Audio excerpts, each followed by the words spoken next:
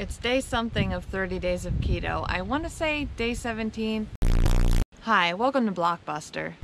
It's a gloomy ass Pennsylvania day. What's new, right? Not sure what my pace is. I didn't bring my phone because it's raining. I need to invest in one of those watches that tracks your pace and steps. Hobbies are expensive. I started running because I'm like, well, it's free. You just get outside and run. No, you need shoes. You need a watch. You need apps. You pay race fees. It's a tornado, Auntie M. Holy, holy. We get it. Yes, hi. You're raining. You're windy. We get it. keep doing you. It's actually like 70 degrees today, which is crazy because starting tomorrow, the highs will be in the 50s and my seasonal depression will be in full effect. Don't let these pretty fall leaves fool you. Their sole purpose is to be wet and slippery on the road so that I fall on my ass. Not today, not today, not today, Satan. Look at them, fuck all of you. Fuck you, and you, and you, and you, and you, and you, especially you, and you. Oh my gosh, guys, look at that sign. Says subscribe to Mrs. Space Cadet on YouTube. Don't actually read it, that's, that's really what it said. Just entered the tree tunnel.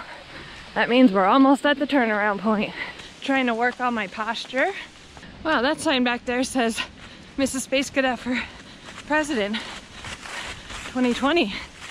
Turned around, headed home. I'm not that tired. Look at these trees, so pretty.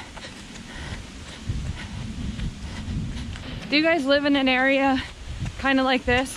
Or do you live in a place that you get to walk to everything? Sean Pressler commented on one of my videos saying about the wildfires in California. So let's all make sure we're thinking, praying, whatever you do, think to the universe for those people and hope everyone can stay safe. Wish we could send them our rain. That would probably be helpful. Also, Sean has a channel. He really likes whiskey. So if there's any of you whiskey lovers out there, go subscribe to Sean Pressler. P-R-E-S-S-L-E-R. I just realized that there's a chance the wildfires may be over by the time you're seeing this because it might be days from now, but I'm sure they could still use our thoughts and prayers if anyone is dealing with loss of people, homes, pets.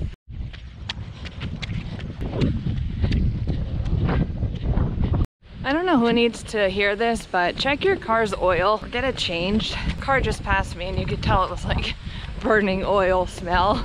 Just check it. We're almost at the old cool down hill. I think I feel like walking right now just because I'm like bored, bored of running. I'm not actually tired, which is great. Super windy. Um, excuse me. What? Bad. This is corn land not Beerland.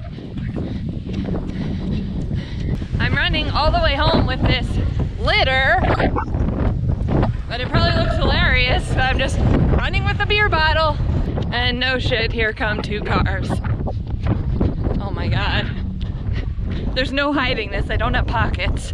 Wow, great impression on the neighbors. All right, Yeah, bye, all right. What do you? What else do you do besides cheers them? Oh, here's our mail person. Oh, it's UPS and they have a package for us. Sounds like Bucky's attacking them. Hi. Cheers. Um, great run. Felt great. Not great. Great. Not great. What? Freaking cornfield. Someone littered. They're cycling.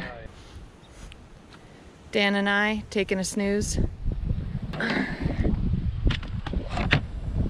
Was it that hard?